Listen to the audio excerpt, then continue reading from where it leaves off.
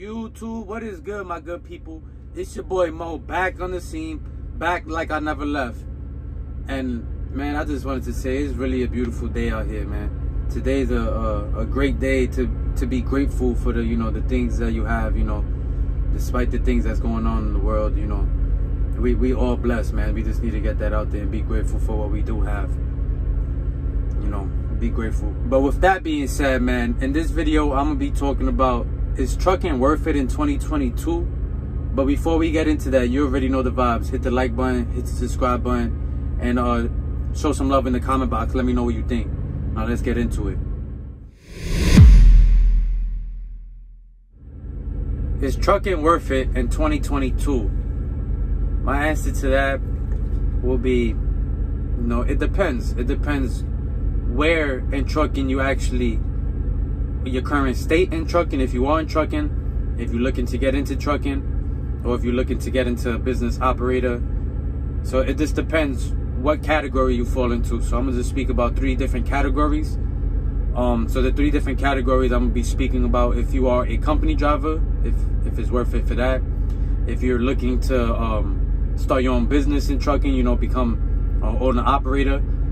Um, that's the second one, and the third one would be if you are actually a, a owner operator and you've been an owner operator for like about a year. So um so is it worth it if you're a company driver? I would definitely say um for the most part it is because you really don't have much expenses for the most part nothing really changed for you you know with the you know with the price of fuel and everything going on nothing really is changing for you so um if you're a company driver you're still doing your day-to-day -day operations and and nothing is really changing for you for the most part, you know. So on that behalf, if you you know you're looking to still get your CDL and just be a company driver for a little while, you know, as the market changes, because you know the market and every aspect, you know, real estate, stock market, trucking, every every the, the market changes, you know, from time to time. You, you get what I'm saying? That's just how the economy goes. Um, but from a, a company driver standpoint, you know, it's definitely I would say worth it for the most part. It's probably more worth it now than it would be to you actually, you know, start your own company. Um, which leads me to my second one. if you um looking to, you know, start your own company, I would say right now probably wouldn't be the best time. You know, not that it's not worth it, you feel me? But it probably wouldn't be the best time. Um and the re the reason why I say so is that right now everything is everything is really high obviously you know the price of gas in some areas for these I mean for diesel excuse me is about in some areas touches about eight dollars seven dollars high seven dollars. Um, but for the most part you know average is about you know 550 and um that's just one expense right now. Um if you're looking for your own truck right now if you're looking for a truck the prices of trucks are real high. Um the reason why I know is because I honestly wanted to do this company driving for about a year and which I'm currently at, and I saved up a good amount to get a truck, but it's just real high. It, it really, it's really not beneficial for you to go out there and spend uh, spend your money on an overpriced truck and put you in a hole early on, you know, starting your business. That's not really how you want to operate. You get what I'm saying? Like, yeah, you, you want to you want to make moves real quick, and you you know you want to be an owner operator, but you need to make smart decisions, not decisions with your emotions. You get what I'm saying? So right now, trucks are real. They real high and fuels at an all time, all time high. You get what I'm saying? So, so right now, a truck that's you know, let's say, 200,000 miles.